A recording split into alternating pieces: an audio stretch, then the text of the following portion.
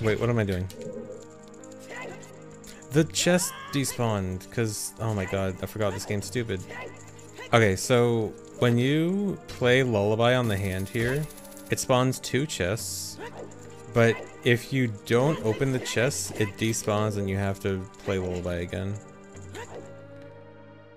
And I can't play Lullaby again. Am I screwed? The chest is there. It wasn't there. I was literally on the- you guys saw it, right? You guys saw that I was on the hand, there was no chest there?